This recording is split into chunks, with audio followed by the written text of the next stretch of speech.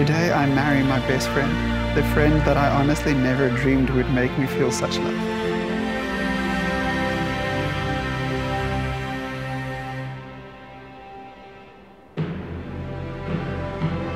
I love you with all of my heart and all that I am, unconditionally and unendingly, yours forever.